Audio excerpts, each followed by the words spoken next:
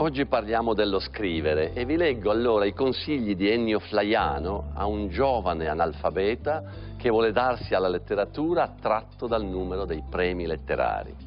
Chi apre il periodo lo chiuda, è pericoloso sporgersi dal capitolo.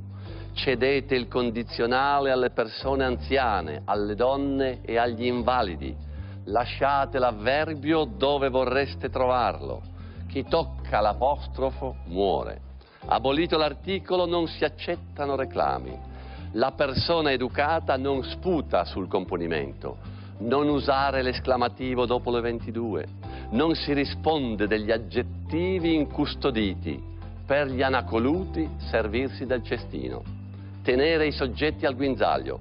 Non calpestare le metafore, i punti di sospensione si pagano a parte. Non usare le sdrucciole se la strada è bagnata per le rime rivolgersi al portiere. L'uso del dialetto è vietato ai minori di 16 anni.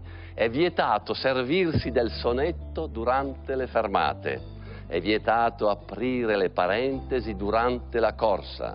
Nulla è dovuto al poeta per il recapito. Flaiano è uno scrittore che si potrebbe ascrivere alla categoria della scrittura semplice, ma addirittura lui, della propria scrittura, eh, parlava in termini quasi negativi. Flaiano dichiara io voglio scrivere male. Ma c'è una dichiarazione di poetica importantissima in, in questa sua affermazione. Scrivere male per Flaiano significa usare la parola perché significhi sempre con chiarezza. Lo scrittore non deve mai usare parole che nascondano, ma parole capaci di rivelare.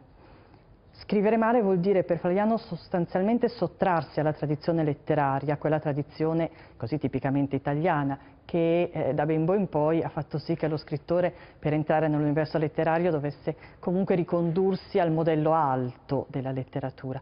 Scrivere male significa recuperare l'autenticità della parola e Flaiano a lungo si sofferma su questo male della società italiana, non solo della letteratura, ma soprattutto della società italiana, che è usare parole ingannevoli. Per Flaiano lavorare sulle parole vuol dire alleggerire, trovare la parola efficace. È interessante lavorare sui manoscritti perché ci si accorge di come il lavoro correttorio di Flaiano vada quasi sempre nella direzione del levare, qualche volta nella direzione non opposta ma complementare dell'aggiungere, ma perché l'aggiunta è l'avverbio, l'aggettivo che devono precisare.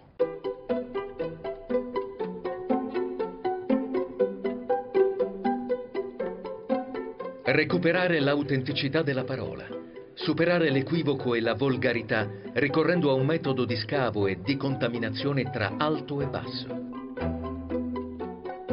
I preziosi materiali custoditi e studiati presso il Centro Manoscritti dell'Università di Pavia, fondato da Maria Corti, illuminano con vigore il processo creativo di Flaiano.